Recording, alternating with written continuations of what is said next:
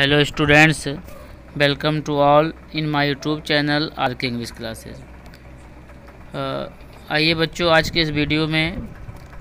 chapter number four glimpses of India का जो पहला पार्ट है a baker from Goa written by Lucio gives से जो है हम शॉर्ट लॉन्ग पैसेज और इसकी ब्रीफ समरी जाने So let us start our topic today without delay. First of all, my dear student, we uh, shall know the summary of this story, A Baker from Goa. My dear student, in this story the author describes a traditional uh, Goa village baker who still has an important place in its society. Uh, the traditional cakes and breads baked during important occasions and festivals depict that uh, baking is an important aspect of Goa culture. The author remembers his childhood days and their excitement on seeing the baker. They were very happy to see them. They would run to him as soon as they woke up uh, without uh, even brushing their teeth. At last, uh, the author tells us that baking was indeed a profitable profession in the old age. Uh, the baker and his family never starved. He, his family, and his servants,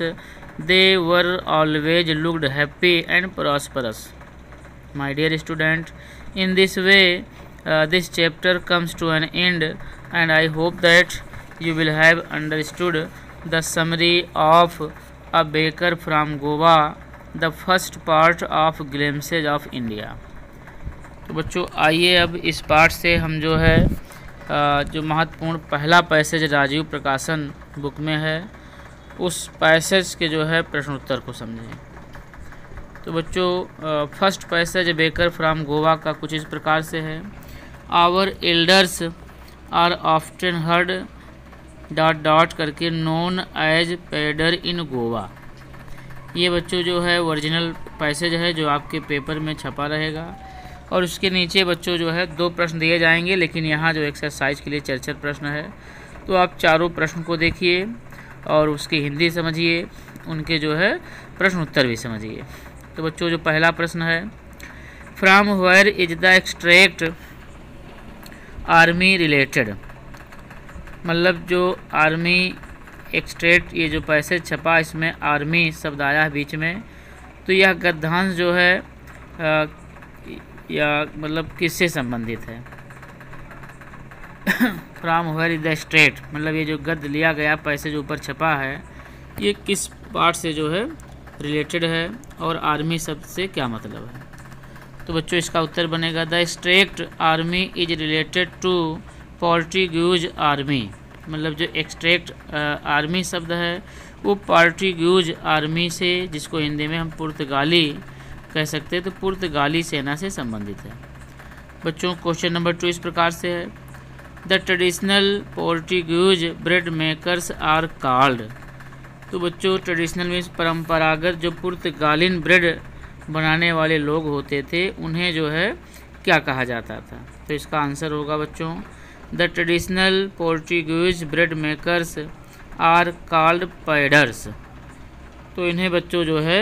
paders के नाम से जाना जाता था गोवा की society में जैसा हमने कहानी पढ़ा है और अभी समरी में देखा और सुना है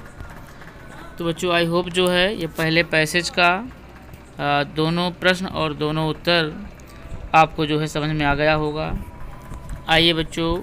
पहले ही पैसेज का हम तीसरा प्रश्न देखें are these some sorry are there some traditional bakers present in India तो बच्चों यहाँ इंडिया के बजाय बच्चों जो है हम्म, चलिए इंडिया ही सही है तो क्या भारत में अभी भी कुछ परंपरागत ब्रेड बनाने वाले लोग जो है हैं तो बच्चों इसका उत्तर बनेगा कि हाँ हाँ तो इसका उत्तर होगा yes still there are some traditional bakers present in India बच्चों जो इंडिया वर्ड है हो सकता है आपके पेपर में और uh, गोवा करके आए तो जहाँ इंडिया शब्द है वहाँ आप क्या करोगे गोवा लिख दोगे और उत्तर इस प्रकार से हो जाएगा yes still there are some traditional bakers present in Goa और बच्चों इंडिया रहेगा तो इंडिया करके आप लिखोगे ऐसा आप जान रहे हो नेक्स्ट और लास्ट प्रश्न इस पहले पैसेज का इस प्रकार से है these bakers brought breads to the house in the dot dot बच्चों ऑप्शनल है इसमें चार ऑप्शन रहेंगे इवनिंग आफ्टरनून मॉर्निंग और नाइट तो बच्चों इन चारों ऑप्शनों में से जो हमारा उत्तर बनेगा वो मॉर्निंग सही जाएगा तो इसका करेक्ट आंसर होगा कि these bakers brought bread to houses in the morning तो जो इस प्रकार से the first passage comes to an end now we have to see short answer type question from this chapter part one a baker from Goa written by Lucio Rodrigues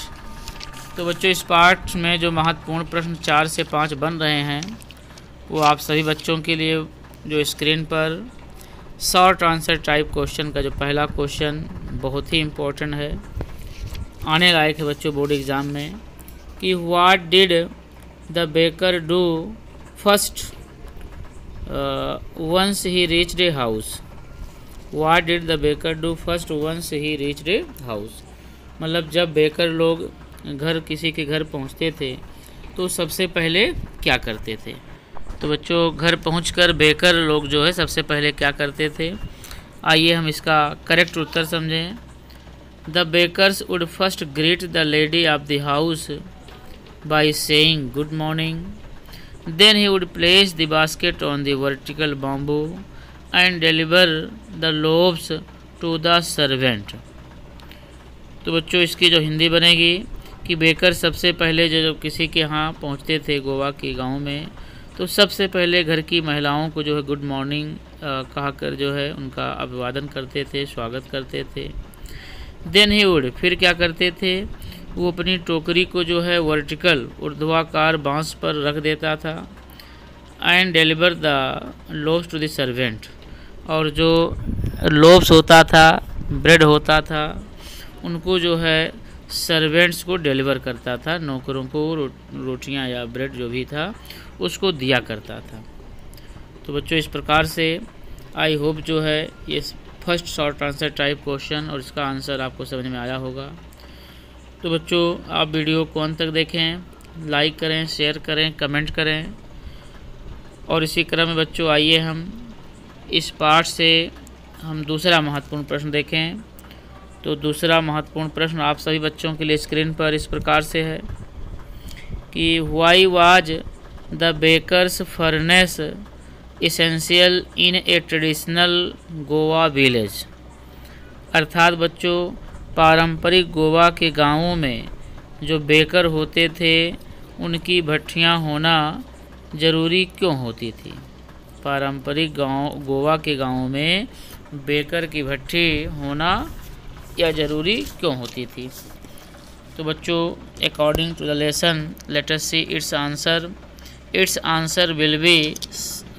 थोड़ा सा बच्चों long है फिर भी बहुत सटीक है तो different types of breads are essential during the different occasions bol in has है to be prepare during Christmas and other festival the mothers use to prepare sandwiches on the occasion of their daughters engagement So the Baker furnace, furnace was essential in a traditional Goa village अर्थात बच्चों इसकी जो हिंदी अनुवाद बनेगा कि विभिन्न अवसरों के दौरान विभिन्न प्रकार के ब्रेड जो है इसेंशियल होते थे क्रिसमस और अन्य त्योहारों पर त्यौहार के दौरान बोलिन हास तैयार किया जाता था और daughters mothers uses to prepare means माताएं अपनी बेटियों की इंगेजमेंट पर सैंडविच uh, तैयार करती थी इसलिए हम कह सकते हैं कि बेकर की भट्टी uh, गोवा के गांव में बड़ी आवश्यक हुआ करती थी कभी तो बच्चों इसमें बोल इन हाथ शब्द है जो एक प्रकार का कोई जो है फूड वहाँ का ब्रेड जैसा जो रहा रहता होगा तो वहाँ पर ये सब चीज़ें होती थी इस प्रकार से बच्चों ये जो है this was the second question now see question number three describe the dress of bakers अर्थात बच्चों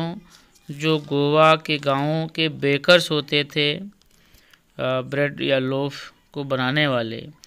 उनके ड्रेस के बारे में जो है बताइए ड्रेस का वर्णन करिए कैसे कपड़े वे लोग पहनते थे और क्या विशेष बातें उनके ड्रेस में हुआ करती थी आप इसका वर्णन करें बच्चों you have read the story and you all know the answer of this question let us see the correct answer of this question कि the bakers had a peculiar dress earlier known as the kabai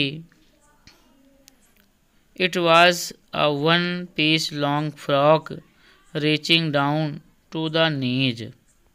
तो बच्चों ये इसका correct answer है कि bakers के पास जो है एक पेकुलियर ड्रेस हुआ करते थे पेकुलियर्स मीन्स बच्चों अजीबो गरीब जो है पोशाक हुआ करती थी जिसको पाठ के आधार पर हम जानते हैं कि उनके ड्रेस को बेकर्स के ड्रेस को जो है कबाई के नाम से जाना जाता था it was a one piece long frock ये कैसा होता था कि यह एक टुकड़ा लंबा फ्रॉक के जैसा होता था reaching down to the knees जो जो है बैकर के घुटनों के नीचे तक जो है पहुंचता था तो इस प्रकार से बच्चों आई होप जो है आप क्वेश्चन नंबर थ्री भी जो है समझ गए होंगे जो कि ये बाइकर्स फ्राम गोवा से चल रहा है इसी क्रम में बच्चों आइए जो हम क्वेश्चन नंबर फोर को देखें और उसका उत्तर समझें तो क्वेश्चन नंबर फोर बच्चों आप सभी के लिए स्क्रीन पर कुछ इस प्रकार से है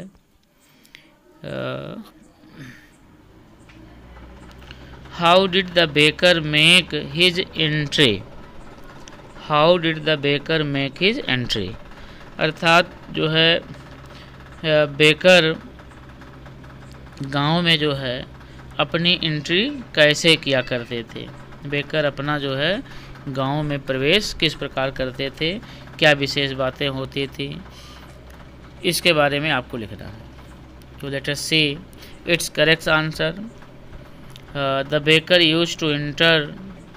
with the jingling sound of his bamboo staff his one hand supported the basket on his head and other banged the bamboo on the ground तो बच्चों इसका जो उत्तर बना हिंदी में आप समझिए कि बेकर अपने बांस की जो है जिंगलिंग साउंड के साथ धुन के साथ प्रवेश करता था क्या करता था कि हिज वन हैंड सपोर्टेड उसके एक हाथ से जो है वो अपने सिर पर टोकरी को पकड़े रहता था and other bang the bamboo on the ground और दूसरे से बांस को जो है ज़मीन पर पटक करके वो जो है जिंगलिंग साउंड प्रवेश जिंगलिंग साउंड करते हुए गांव में प्रवेश करता था तो इस प्रकार से बच्चों this was the last answer and question now let us see long answer type question बच्चों इसका जो लॉन्ग है आप सभी बच्चों को पता है कि मिनिमम जो है लॉन्ग का जो आंसर बने वो सिक्सटी वर्ड में होना चाहिए तो बच्चों थोड़ा सा टफ़ है लेकिन बहुत टफ़ काम नहीं है आप सारे प्रश्न के जो है सारे पाठों की कहानी जानते हैं बड़ी आसानी से आप जो है लिख सकते हैं तो बच्चों इसका जो लॉन्ग है कुछ इस प्रकार से है लॉन्ग आंसर टाइप क्वेश्चन का जो प्रश्न है बच्चों कि describe a traditional Goa village maker अथवा बच्चों इस पार्ट से बच्चों ज़्यादा लॉन्ग बन नहीं पाएगा तो इस प्रकार से आपका यही अथवा करके जो दिया है इसी को आप देखिए समझिए how are the life of the baker in a Goa village तो बच्चों गोवा के गांव में जो बेकर का लाइफ था वो हाउ आज माने कैसा लाइफ था वो किस प्रकार अपना ज़िंदगी जी रहे थे क्या कर रहे थे इसके बारे में आपको लॉन्ग आंसर देना है जिसका उत्तर बच्चों सिक्सटी वर्ड में मिनिमम होना चाहिए तो बच्चों इसका आंसर आपके लिए स्क्रीन पर लिखा हुआ है कुछ इस प्रकार से कि baker was an important person in the village of Goa in old times the baker made his musical entry on the ground with the Jhang Jhang sound of his specially made bamboo staff He would greet the lady of the house with good morning. The baker was children's friend, companion, and guide. The baker looked happy and prosperous. He had a jackfruit like physical appearance. to bachcho is prakar se jo hai goa ke gaon mein jo baker ka life tha hota tha कि a baker was an important person in the village of Goa in old times कि पुराने समय में गोवा के गाँव में जो baker हुआ करते थे एक महत्वपूर्ण व्यक्ति हुआ करते थे the maker made his musical entry on the ground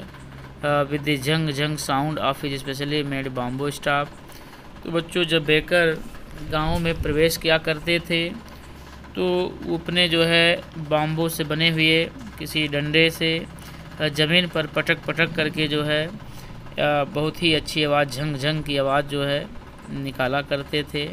ताकि गांव वाले जो है समझ जाएं कि बेकर आ गया जैसे आज बच्चों देखते हैं हम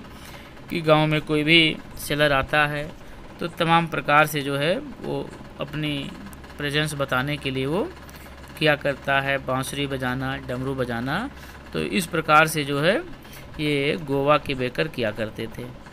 he would greet the lady of the house with good morning घर की महिलाओं को ये बहुत ही सम्मान दिया करते थे उनका स्वागत अभिवादन गुड मॉर्निंग कह के जो है किया करते थे जो बेकर हुआ करते थे वो बच्चों के लिए फ्रेंड उनके कंपेनियन और उनके लिए गाइड भी हुआ करते थे बेकर हमेशा हैप्पी और प्रॉस्पर होते थे और उनका फिजिकल अपियरेंस जो है जैक फ्रूट जैसा हुआ करता था तो बच्चों आई होप जो है आप शार्ट लॉन्ग और पैसेज सारी बातों को आ, समझ गए होंगे तो आइए बच्चों इसी क्रम में इस पार्ट से जो है या प्रोज वाली किताब से बच्चों मैचिंग वर्ड आता है तो आप सभी बच्चों के लिए आ, चार शब्द जो है मैचिंग वर्ड के लिए स्क्रीन पर छपे हुए हैं कॉलम ए में देखोगे तो यूजुअली